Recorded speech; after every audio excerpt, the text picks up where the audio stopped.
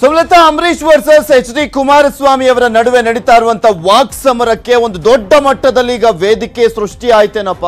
ಗೊತ್ತಿಲ್ಲ. ಈಗಿಂದ ಮತ್ತಷ್ಟು ಅದು ಸ್ಫೋಟ ಆಗುವಂತ ಸಾಧ್ಯತೆ ಇದೆ. ಬೆಂಕಿ ಹೊತ್ತಿ ಉರಿತಾ ಇರುವಂತದ್ದು ಸ್ಪಷ್ಟವಾಗಿ ಗೊತ್ತಾಗ್ತಾ ಇದೆ. ಅದು ರಾಕ್ಲೈನ್ ವೆಂಕಟೇಶ್ ಅವರು ಕೂಡ ಅಷ್ಟೇ, ಎಳೆ ಎಳೆಯಾಗಿ ಪ್ರತಿಯೊಂದನ್ನು ಕೂಡ ಬಿಚ್ಚಿಡ್ತಾ ಮಾತನಾಡ್ತಾ ಹೋದ್ರು. ಮಂಡ್ಯದ ವಿಚಾರಕ್ಕೆ ಸಂಬಂಧಪಟ್ಟಂತೆ ಪಾರ್ಥಿವ ವಿಚಾರದಾಗಿರ್ಬೋದು, ಶರೀರವನ್ನು ತಂದಂತ ಸಂದರ್ಭದಲ್ಲಿ. ಅದಾದ್ಮೇಲೆ ಇಲ್ಲಿ ಪ್ರಮುಖವಾಗಿ ದೊಡ್ಡಣ್ಣ ಅವರು ಕುಮಾರಸ್ವಾಮಿ ಅವರನ್ನ ಮಾತನಾಡಿಸ್ಲಿಕ್ಕೆ ಹೋದಂತ ಸಂದರ್ಭದಲ್ಲಿ ಆದಂತ ಅವಮಾನದ ವಿಚಾರವಾಗಿ ಎಲ್ಲ ಮಾತನಾಡಿದ್ರು. ಏನೇನ್ ಮಾತನಾಡಿದ್ರು ಇನ್ನೊಮ್ಮೆ ಕೇಳೋಣ. ಇವತ್ತು ನಾನು ಓಪನ್ ಮಾಡ್ತೀನಿ ಸರ್ ಅವ್ರು ಓಪನ್ ಮಾಡೋದು ಧೈರ್ಯ ಇಲ್ಲ. ವಿಡಿಯೋ ಇದೆ, ಆಡಿಯೋ ಇದೆ, ಬಾಂಬ್ ಇದೆ ಅಂತಾರಲ್ಲ, ಅದೇನು ನಾನು ಹೇಳ್ತೀನಿ, ಕೇಳಿಸ್ಕೊಳ್ಳಿ. ಒಬ್ಬರು ಒಂದು ಸಂಸ್ಥೆಯಿಂದ ಒಬ್ಬ ವ್ಯಕ್ತಿನ ಸುಮಾರು ಆರು, ಏಳು, ಎಂಟು ತಿಂಗಳಿಂದ ಕಳಿಸ್ತಾರೆ. ಸುಮಲತಾ ಅವ್ರ ಆಫೀಸ್ಗೆ. ಈ ಥರ ಈ ಥರ ಮಾಡಿಕೊಡಿ ಕೆಲಸ, ಆ ಥರ ಮಾಡಿಕೊಡಿ ಕೆಲಸ ಅಂತ. ಇವೆಲ್ಲ ಇಲ್ಲಿ ಆಗೋದಿಲ್ಲ. ನೀವು ಜಾಗ ಖಾಲಿ ಮಾಡಿ ಅಂತ ಹೇಳಿದಾಗ, ಇಲ್ಲ ಸಂಸದರನ್ನ ಮೀಟ್ ಮಾಡಬೇಕು. ಸಂಸದರನ್ನ ಮೀಟ್ ಮಾಡಬೇಕು ಇಂಥ ಒಂದು ದೊಡ್ಡ ಸಂಸ್ಥೆಯಿಂದ ನಾವು ಬಂದಾಗ ಸಂಸದರನ್ನು ಮೀಟ್ ಮಾಡಿಸೋದಕ್ಕೆ ನಮಗೊಂದು ಅವಕಾಶ ಕೊಡಲ್ವ ನೀವು ಬಂದಾಗ ಸಂಸದರು ಏನು ಹೇಳ್ತಾರೆ, ನಾನು ಯಾರನ್ನೂ ಮೀಟ್ ಮಾಡೋದಿಲ್ಲ. ಬಟ್ ಒಂದು ದೊಡ್ಡ ಸಂಸ್ಥೆ ಆಗಿರೋದ್ರಿಂದ ನಾವು ರೆಸ್ಪಾಂಡ್ ಮಾಡಿದ್ರೆ ತಪ್ಪಾಗುತ್ತೆ. ಸೊ ನಾನು ರೆಸ್ಪಾಂಡ್ ಮಾಡ್ತೀನಿ. ಮದು ಅವ್ರು ನೋಡ್ಕೊಳ್ಳೋದ್ರಿಂದ ನೀನು ಹೋಗಿ ಮೀಟ್ ಮಾಡಪ್ಪ ಅಂತ ಮೀಟ್ ಮಾಡೋಕ್ಕೆ ಹೋದಾಗ ಆ ವ್ಯಕ್ತಿ ಏನೇನು ಮಾತಾಡ್ದ, ಅವರು ಇವ್ರನ್ನ ಕಳಿಸಿರುವಂಥ ವ್ಯಕ್ತಿ ರೆಕಾರ್ಡ್ ಮಾಡ್ಕೋತಾವ ನನಗೆ ಚೆನ್ನಾಗಿ ಗೊತ್ತು. ನಾನು ಸಿನಿಮಾದವನು ನಾನು ನನಗೆ ಚೆನ್ನಾಗಿ ಗೊತ್ತಿದೆ. ಇವರು ಕಾರಿಂದ ಕಾಲಿಟ್ಟಾಗಿಂದ ಹಿಡಿದು ತಿರ್ಗಾ ಮಾತಾದಮೇಲೆ ಕಾರ್ ಒಳಗೆ ಕೂತ್ಕೊಳ್ಳೋವರೆಗೂ ನಾನು ವೀಡಿಯೋನೇ ಮಾಡಿಸಿದ್ದೀನಿ ಸ್ವಾಮಿ. ಇವರು ಬರೀ ಆಡಿಯೋ ರೆಕಾರ್ಡ್ ಅಲ್ಲ, ನಾನು ಆಡಿಯೋ ರೆಕಾರ್ಡು, ವಿಡಿಯೋ ರೆಕಾರ್ಡ್ ಎರಡೂ ಮಾಡಿಸಿದ್ದೀನಿ. ಯಾವ ಹೋಟೆಲಲ್ಲಿ ಸಪ್ರೇಟಾಗಿ ಚೇರ್ ಹಾಕ್ಸಿ ಯಾರಿಗೂ ಇವ್ರ ಆಡಿಯೋ ರೆಕಾರ್ಡ್ ಮಾಡೋವಾಗಲೂ ಅವ್ರಿಗೂ ಡಿಸ್ಟರ್ಬ್ ಆಗಬಾರ್ದು, ನಾನು ವಿಡಿಯೋ ರೆಕಾರ್ಡ್ ಮಾಡೋವಾಗ ನನಗೂ ಡಿಸ್ಟರ್ಬ್ ಆಗಬಾರ್ದು ಅಂತೇಳಿ ನಾನು ಮಾಡ್ಕೊಂಡಿದ್ದೀನಿ ಸ್ವಾಮಿ. ಅಲ್ಲಿ ಏನೇನು ಹೇಳ್ದ ಗೊತ್ತಾ ಅವನು? ಏನಕ್ಕೆ ಇವ್ರು ಆಡಿಯೋ ಬಿಡ್ತಾ ಇಲ್ಲ ಅಂದರೆ ಅವ್ರ ಬಗ್ಗೆನೂ ಬೈದ ಇವನು.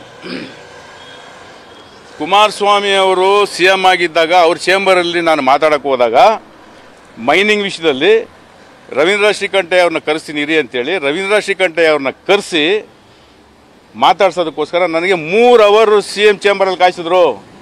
ವಿಧಾನಸೌಧದಲ್ಲಿ ರವೀಂದ್ರ ಶ್ರೀಕಂಠೆ ಅವರು ಆಮೇಲೆ ಬಂದರು. ಬಂದು ನಾನು ನಿಮಗೆ ಮೆಟೀರಿಯಲ್ ಸಪ್ಲೈ ಮಾಡ್ತೀನಿ. ಮೆಟೀರಿಯಲ್ ಸಪ್ಲೈ ಮಾಡ್ತೀನಿ. ಆ ಮೆಟೀರಿಯಲ್ನ ನೀವು ತಗೋಬೇಕು ಅಂದಾಗ ನಾನು ತಗೋತೀನಿ ಅಂತ ಹೇಳಿದೆ ನಾನು. ಆದರೆ ಮೆಟೀರಿಯಲ್ಗೆ ಪರ್ಮಿಟ್ ಇಲ್ಲ ಇಲ್ಲಿಗೆಲ್ಲ ಕೊಡ್ತೀನಿ ನಾನು. ಅಂದಿದ್ದಕ್ಕೆ ನಾನು ಹೇಳಿದೆ ಪರ್ಮಿಟ್ ಇದ್ದರೆ ನಾನು ತಗೋತೀನಿ. ಪರ್ಮಿಟ್ ಇಲ್ಲ ಅಂದರೆ ನಾನು ತಗೊಳ್ಳೋದಿಲ್ಲ. ನನಗೆ ಇಲ್ಲಿಗಲ್ ಮೈನಿಂಗ್ ಮಾಡಿರೋ ಮೆಟೀರಿಯಲ್ ಬೇಡ ಅಂತ ಹೇಳಿದೆ ನಾನು. ಅನ್ನೋದು ನಮ್ಮ ಹತ್ರ ರೆಕಾರ್ಡ್ ಇದೆ ಸ್ವಾಮಿ. ನಾವೇನು ಮಾತಾಡಿದ್ವಿ ಅವ್ರೇನು ಮಾತಾಡಿದ್ರು ಅನ್ನೋದನ್ನ ಸಮಯ ಬಂದಾಗ ಅವರು ಹೇಳಿದ್ರಲ್ಲ ಎಲೆಕ್ಷನ್ನು ಅಂತ. ಅದನ್ನ ಈಗಲೇ ಹೇಳ್ತಾ ಇದ್ದೀನಿ ಕೇಳಿಸ್ಕೊಳ್ಳಿ. ಇದನ್ನು ಹೇಳೋದಕ್ಕೆ ಯಾಕೆ ಒದ್ದಾಡ್ತಾರೆ ಅವರು? ಯಾಕಂದರೆ ಈ ಟಾಪಿಕ್ಕು ಇದೆ ಇನ್ನು ಈ ಥರ ಟಾಪಿಕ್ಗಳು ಬೇಜಾರಿದ್ದಾವೆ ಇದನ್ನ ಕುಮಾರಸ್ವಾಮಿ ಅವರು ರವೀಂದ್ರ ಶ್ರೀಕಂಠೆ ಅವರು ಈ ಇವರಿಬ್ಬರಿಗೆ ಗೊತ್ತಿರೋ ವಿಷಯನ ನಾನು ಈಗ ಮಾಧ್ಯಮದಲ್ಲಿ ಹೇಳ್ತಾ ಇದ್ದೀನಲ್ಲ ಇದನ್ನು ಕರೆಕ್ಟಾ ಇಲ್ಲ ಅಂತ ನೀವೇ ತಿಳ್ಕೊಳ್ಳಿ. ನಿಮಗೆ ಗೊತ್ತಾಗುತ್ತೆ. ಅವರೇ ಸ್ವಾಮಿ ಅವರೇ ಕಳಿಸಿರೋದು. ಅವ್ರು ಕುಮಾರಸ್ವಾಮಿ ಅವ್ರು ಕಳಿಸಿರೋದು ನಾನು ಹೇಳಲ್ಲ. ಅವ್ರ ಕಡೆಯಿಂದ ಬಂದಿದ್ದು. ಅದು ನನಗೆ ಗೊತ್ತಾಯ್ತು ಆಮೇಲೆ. ಯಾವ ಸಂಸ್ಥೆ ಬಗ್ಗೆ ಈಗ ಮಾತಾಡೋದಿಲ್ಲ ನಾನು. ನೀವು ಬಿಡುಗಡೆ ಮಾಡ್ತೀರಾ? ನಾನು ಯಾಕೆ ಬಿಡುಗಡೆ ಮಾಡಲಿ? ನಾನು ಅವ್ರ ಮೇಲೆ ದೂರಣೆ ಮಾಡ್ತಾ ಇಲ್ಲವಲ್ಲ ಅವ್ರು ತಪ್ಪು ಮಾಡಿದ್ರೆ ನಾನು ಯಾಕ್- ಅವ್ರು ಏನು ಮಾಡ್ತಾರೆ ಮಾಡಲಿ ಅದಕ್ಕೆಲ್ಲ ಕೌಂಟ್ರ್ ನಾನು ಇಟ್ಕೋತೀನಿ. ನೀವು ಅರ್ಥ ಮಾಡ್ಕೊಳ್ಳಿ ಕುಮಾರಸ್ವಾಮಿ ಅವ್ರ ಜೊತೆಲಿ ಪಕ್ಕದಲ್ಲೇ ಇದ್ದವ್ ನಾನು. ಇವತ್ತಲ್ಲ ಡಾಕ್ಟರ್ ರಾಜ್ಕುಮಾರ್ ಅಣ್ಣವ್ರು ಸಿ ಸತ್ತೋದಾಗಲೂ ಇವ್ರು ಸಿ ಎಂ ಆಗಿದ್ದಾಗಲೂ ನನ್ನ ಜೊತೇಲಿ ಇದ್ದವನು. ಅಂಬರೀಷ್ ಅವ್ರು ತೀರೋದಾಗ ಅಲ್ಲಿ ಬಂದಾಗ ವಿಕ್ರಮ್ ಹಾಸ್ಪಿಟ್ಲಲ್ಲಿ ಫರ್ದರ್ ಏನು ಮಾಡಬೇಕು ಅಂತ ಬಂದಾಗ, ಆ ನೋವು ಆ ಸಂದರ್ಭದಲ್ಲಿ ಯಾರು ಗೊತ್ತಿರುತ್ತೆ? ಸತ್ತೋಗಿರೋ ಗಂಡನ ಚಿತ್ತೆ ಮುಂದೆ ಬಾಡಿ ಮುಂದೆ ಕೂತ್ಕೊಂಡು ಅಳ್ತ್ಕೊಂಡು ಕೂತಿದ್ದಾಗ ಈ ಟಾಪಿಕ್ ಬ, ಅಲ್ಲಿ ಮಾತಾಡೋಕ್ಕಾಗಿಲ್ಲ ನಾವು. ಏನು ಮಾಡಬೇಕು ಏನು ಮಾಡಬೇಕು ಅಂತ ಒಂದು ಸ್ವಲ್ಪ ಹೊತ್ತು ಆದಮೇಲೆ ಸುಮಲತಾ ಅವ್ರನ್ನ ಕೇಳಿದಾಗ, ಸಿ ಎಂ ಏನು ಹೇಳ್ತಾರೋ ಅದು ಮಾಡಲಿ ಅಂದರು. ಸಿ ಎಂ ಏನು ಮಾಡ್ತಾರೆ? ಅದನ್ನು ಮಾಡಲಿ. ಯಾಕಂದ್ರೆ ಗಲಾಟೆ ಗಲಭೆ ಆಗಬಾರ್ದು. ಅವ್ರು ಹೆಂಗೆ ಅನುಕೂಲ ಏನು ಮಾಡಬೇಕು? ಮಾಡಲಿ ಅವರು ಅಂದರು. ಕೊನೆಗೆ ಅಭಿ ಏನು ಮಾಡಿದ್ರು? ಇಲ್ಲ, ದಯವಿಟ್ಟು ನೀವು ಮಂಡ್ಯ ಕರ್ಕೊಂಡು ಹೋಗಲೇಬೇಕು. ಮಂಡ್ಯದಲ್ಲಿ ನಮ್ಮ ತಂದೆಯ ದರ್ಶನ ಮಂಡ್ಯ ಜನಕ್ಕೆ ಮಾಡಿಸ್ಬೇಕು.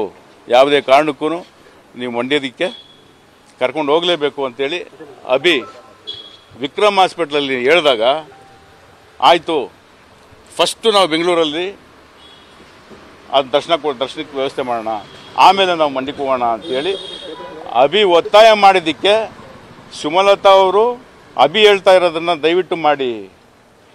ದಯವಿಟ್ಟು ಅಭಿ ಹೇಳ್ತಾ ಇರೋದನ್ನು ಮಾಡಿ. ನನಗೂ ಅದೇ ಆಸೆ.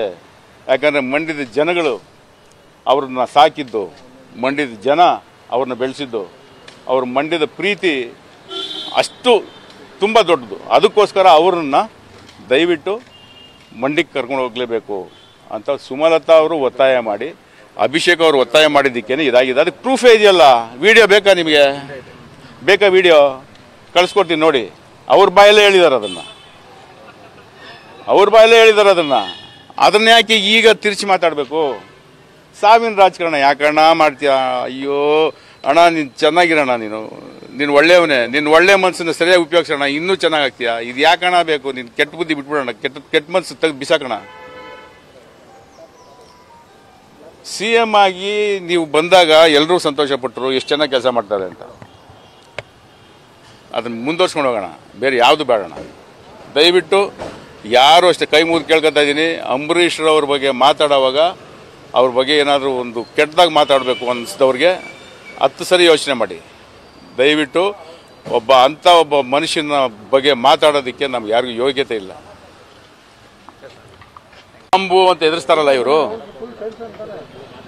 ಆಡಿಯೋ, ವಿಡಿಯೋ ಬಾಂಬ್ ಅಂತ ಎದುರಿಸ್ತಾರಲ್ಲ? ಇದು ಹೊಸದಲ್ಲ. ಚುನಾವಣೆ ನಡೆಯೋ ಸಂದರ್ಭದಲ್ಲಿ ನಾನು, ನನ್ನ ಜೊತೆಯಲ್ಲಿ ಅಂಬರೀಷ್ ಅವರ ಸ್ನೇಹಿತರು ಸುಮಾರು ಜನ ಚುನಾವಣೆ ಪ್ರಚಾರಕ್ಕೋಸ್ಕರ, ಚುನಾವಣೆಗೆ ಸಂಬಂಧಪಟ್ಟಂಥ ಮೀಟಿಂಗ್ಗಳಿಗೋಸ್ಕರ ಮಂಡ್ಯದಲ್ಲಿ ಇರ್ತಾ ಇದ್ವಿ, ಕೆಲವು ಹೋಟ್ಲುಗಳಲ್ಲಿ. ಎಲ್ಲರೂ ಮೀಟಿಂಗ್ ಮಾಡಿ ಚರ್ಚೆಗೆ ಕರೆಯೋಕ್ಕೆ ಹೋದಾಗ ನಾನು, ಸುಮಲತಾ ಅವರು ಇಬ್ಬರೇ ಕಾರಿಂದ ಹಿಡಿದು ಹೋಟೆಲ್ ಒಳಗೆ ಹೋಗೋವಾಗ ಏಟ್ರಿಯಾ ಹೋಟ್ಲು. ಹೋಗೋವಾಗ ಏನು ಮಾಡಿದ್ದಾರೆ, ಅವ್ರನ್ನ ಆ ಹೋಟ್ಲಿನಿಂದ, ಸೆಕ್ಯೂರಿಟಿಯಿಂದನೂ video C C T V footage ತಗೊಂಬಂದು C C T V footage ತಗೊಂಬಂದು, ನೋಡಿ ಸುಮಲತಾನು ರಾಕ್ಲೈನವ್ರು ಇಬ್ಬರು ರೂ ಹೋಟೆಲ್ ಕಾರಿಡಾರ್ ಹೋಗ್ತಾವ್ರೆ ರೂಮಲ್ಲಿ ಹೋಗ್ತಾವ್ರೆ ಇದನ್ನೊಂದು ಸ್ಟೋರಿ ಮಾಡಿ ಯಾವುದ್ಯಾವುದೋ ಅಶ್ಲೀಲ ಚಿತ್ರಗಳನ್ನ ತಗೊಂಬಂದು ಪೇಸ್ಟ್ ಮಾಡಿ, ಅಶ್ಲೀಲ ಚಿತ್ರಗಳನ್ನ ತಗೊಂಬಂದು ಪೇಸ್ಟ್ ಮಾಡಿ ಇದನ್ನ ಆ ಚುನಾವಣೆ ಸಂದರ್ಭದಲ್ಲಿ ಬಿಡುಗಡೆ ಮಾಡಬೇಕು ಅಂತೆಲ್ಲ ಆಸೆ ಪಟ್ಟಿದ್ರು ಇವರು. ಇದನ್ನ ನನಗೆ ಹೇಳಿದವ್ರು ಯಾರೂ ಇಲ್ಲ. ಅವ್ರ ಚಾನಲಲ್ಲಿ ಇದ್ದಂತ ಅಂಬರೀಷ್ ಅಭಿಮಾನಿನೇ ನನಗೆ ಹೇಳಿದ್ರು. ಅಣ್ಣ, ಈ ಥರದ್ದೆಲ್ಲ ಒಂದು ಪ್ಲ್ಯಾನ್ ಮಾಡಿದ್ರು. ಈ ಥರದ್ದೆಲ್ಲ ಪ್ಲ್ಯಾನ್ ಮಾಡವ್ರೆ. ಯಾರೋ ಒಬ್ಬರು ಸುಮಲತಾ ಅವ್ರ ಮೇಲೆ ಕೈ ಹಿಂಗೆ ಹಾಕೊಂಡು ಗ್ಲಾಸ್ ಇಟ್ಕೊಂಡು ನಿಂತಿದ್ರು. ಅದ್ರದ್ದು ಮತ್ತೆ ನೀವು ಸುಮಲತಾ ಅವ್ರ ಇದಕ್ಕೊಂದು ಸ್ಟೋರಿ ಮಾಡಬೇಕು ಅಂತಿದ್ದಾರೆ. ಏನಣ್ಣ ಇದು? ಏನು ಮಾಡ್ತಾವ್ರಪ್ಪ ಈಗ. ಇಲ್ಲ ಅಣ್ಣ ನಿಲ್ಲಿಸಿದ್ದಾರೆ ಈ ಸಂದರ್ಭ ಈ ಸಂದರ್ಭದಲ್ಲಿ ಬೇಡ, ಆಮೇಲೆ ನೋಡೋಣ ಅಂತ ಹೇಳಿದ್ದಾರೆ ಅಂತ. ಈ ಥರ ಯಾವ್ಯಾವ ಥರದ ಕೆಟ್ಟ ಮನಸ್ಸು, ಕೆಟ್ಟ ಬುದ್ಧಿ, ಯಾಕೆ ಬೇಕಿದು? ಈ ಥರದೆಲ್ಲ ಮಾಡಿ ಒಟ್ಟಿನಲ್ಲಿ ಸುಮಲತಾ ಅವ್ರ ಮಕ್ಕಳಿಗೆ ಮಸಿ ಬಳಿದು ಅವರ ಹೆಸರನ್ನ ಕೆಡ್ಸೋದಕ್ಕೆ ಏನೇನು ಕುತಂತ್ರ ಮಾಡಬೇಕೋ ಎಲ್ಲ ಮಾಡ್ತೀರಾ? ಯಾಕೆ ಬೇಕಿದು? ಬೇಡಿ. ನೀವು ಏನೇ ಮಾಡಿದ್ರು ಏನೇ ಚಿತ್ರಗಳನ್ನ ಒಂದಕ್ಕೊಂದು ಪಕ್ಕದಲ್ಲಿ ಇಟ್ಬಿಟ್ಟು ಜೋಡಿಸಿ ಏನೇನೇ ಮಾಡಿದ್ರು ಇವತ್ತು ಟೆಕ್ನಾಲಜಿ ತುಂಬ ದೊಡ್ಡದು.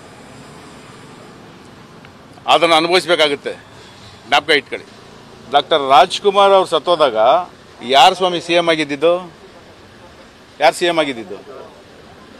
ಜ್ಞಾಪಕ ಇಟ್ಕೊಳ್ಳಿ. ವಿಷ್ಣುವರ್ಧನ್ ಅವ್ರು ತೀರೋದಾಗ ಯಾರು ಸಿ ಎಂ ಆಗಿದ್ರು? ಯಡಿಯೂರಪ್ಪ ಸಿ ಎಂ ಆಗಿದ್ರು.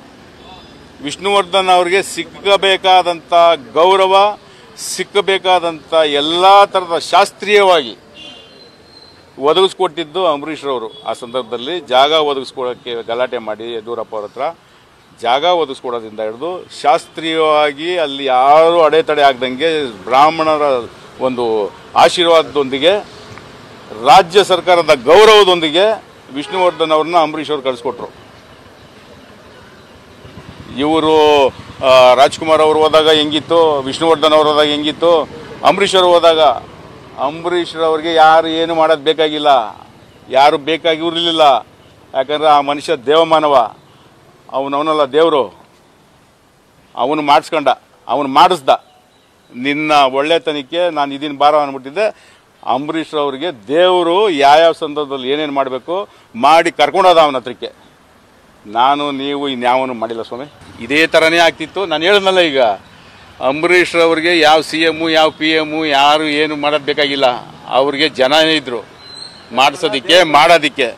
ಜನನೇ ಇದ್ದರು ಆ ಯಪ್ಪನ ಒಳ್ಳೆತನಕ್ಕೆ ಆ ಯಪ್ಪ ಒಬ್ಬ ದೇವಮಾನವ ದೇವರು ಅವನ ಹಣೆ ಬರದಲ್ಲಿ ಬರೆದಿದ್ರು. ಅಂಬರೀಷ್ ಅವ್ರ ಹಣೆ ಬರದಲ್ಲಿ ನಿನ್ನ ಸಾವು ಹಿಂಗೆ, ನಿನ್ನ ಸಾವಿನ ಆದಮೇಲೆ ನಿನ್ನ ಹಿಂಗೆ ಕಣೋ ಅಂತ.